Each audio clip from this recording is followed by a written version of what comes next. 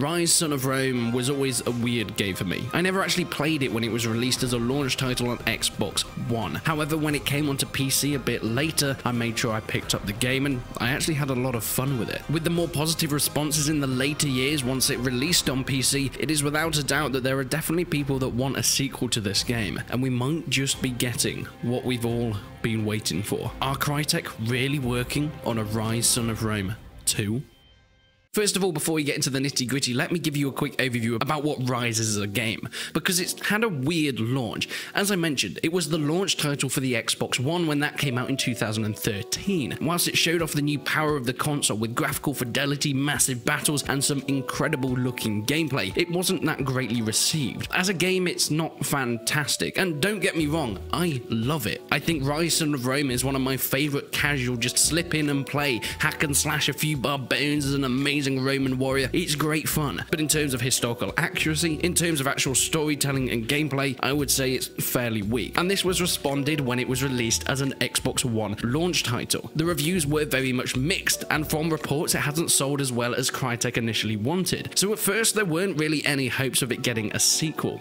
However, as time went on, the thoughts and reactions towards Ryse has kind of changed. You see, despite its sort of lackluster beginning, as it released on PC in 2014, I think people really started to appreciate it. You see, the story wasn't terrible. Yes, it wasn't the best storytelling you've ever seen in the game, but it was good enough, and the setting was fantastic. The way that they built Roman invasion of Britain. They also had this D-Day style landing, which in terms of historical accuracy made people feel sick, but in terms of gameplay, my, was it a lot of fun and did it look epic? I think one of the main things that people take away from this game is how gorgeous it looks, and even to this day, it's probably one of the best looking games on any platform. But on its PC release in 2014, it added in additional graphical fidelity and, of course, beautiful high frame rates, and this just made the game ever more enjoyable. Playing this game at 4K is something else. I know it's probably really hard to get to see it on YouTube, but if you put this video into 4K on YouTube settings, whilst it won't be as beautiful as actually playing it natively in the game, you'll get a good idea of how beautiful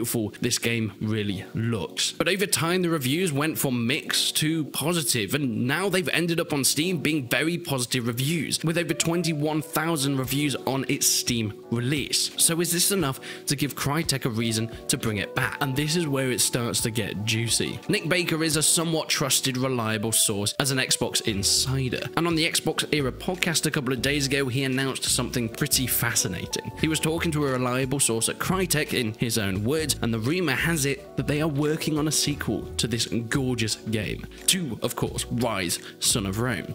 He mentioned that it is being worked on and is currently in development, but of course, there was no sort of indication of when we'll be getting it or even hearing an official announcement about it from Crytek themselves. But what he did say is that the game is most likely going to be multi platform, not exclusive to Xbox like the original was on its launch release when the Xbox One came out in 2013, but now hopefully they're going to go to full multi-platform support. Now, I doubt this will go into PS5, but I think definitely it'll be Xbox and PC, which might, if they bring a PC release as soon as it launches, we will get one of hopefully the most beautiful games of all time. One of the most interesting points that I found is they called it Ryse. They mentioned that they're working on a new Ryse game, not a new Ryse Son of Rome game. And this makes me wonder. Of course, with Ryse is the main title. Then you have a colon, you have the subtitle Son of Rome. This indicates that Ryse is the franchise itself and not Ryse Son of Rome. Many people would initially think that it's going to be Ryse Rome something or other, carrying on the story of Marius in Rome and seeing what happens next. But is that true? Is it really going to be in Rome? If they've called it Ryse as the main title, could we be going into different time eras? Could the franchise branch out into different periods and of course cultures, going into ancient Greece, even all the way back into Egypt,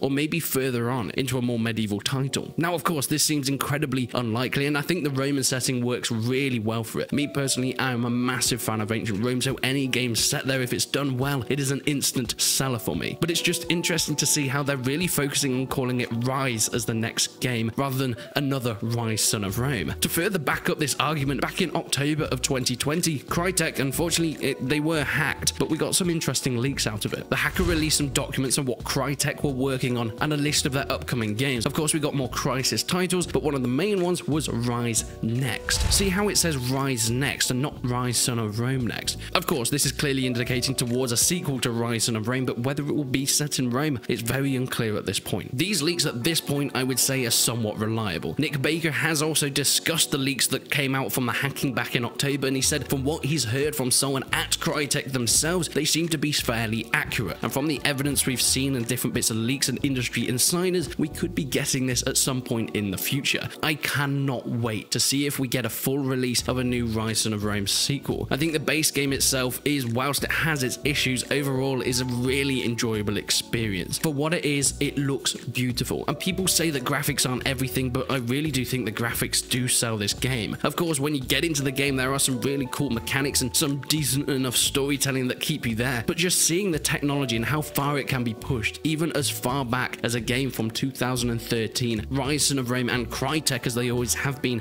is one of the forefronts of graphical fidelity in gaming. And it only begs the imagination of what a sequel to this game could be like. Whether it's going to be set in Rome or even a different time period, hopefully we'll hear something at some point in the next few years. Of course, there's nothing that's going to be coming too soon because I doubt Crytek will really want to be announcing something at this point in time, but I would love to know your opinions. Did you play Ryse Son of Rome? What were your thoughts on it? And do you think it deserves a sequel? Me personally, I couldn't be more excited for this. Please leave your comments down below and I'll be sure to check up on them. Leave a like on the video if you enjoyed it, leave a dislike if you didn't. But until then, I will see you in the next one.